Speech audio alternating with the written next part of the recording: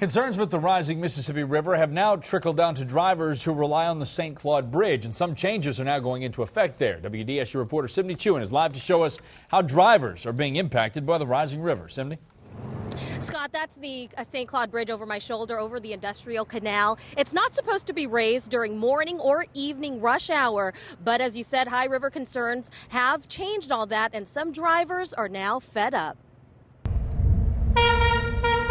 It's the sound no driver on St. Claude Avenue wants to hear. It's like the last thing you want to do at the end of the day. So. That's because it signals these crossing arms to go down and the St. Claude drawbridge to go up, making way for ships to pass through on the industrial canal. It happens morning and evening, and there's no set time. You just come and you sit and you wait. And wait you will, even more. Because of the rising river, it's not safe for ships to sit and wait out the bridge curfew.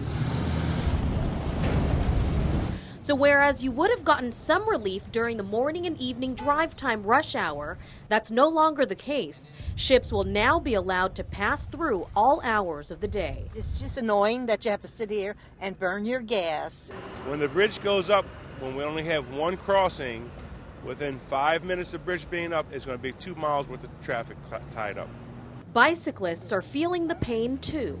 Especially being in Ninth Ward, it kind of feels like you're trapped a lot of times because if it's not this bridge, it's the other bridge. And the other bridge isn't even an option. The Claiborne Avenue Bridge is currently closed for construction. But uh, since they closed that down, I've been going over this every day and getting stuck here every day. But while it may take 10 or 15 minutes longer to get where you need to go, not everyone is feeling the rush. So it's one more thing you just have to deal with. If that's going to keep us safe with the levees, I think it's, it's necessary. Great.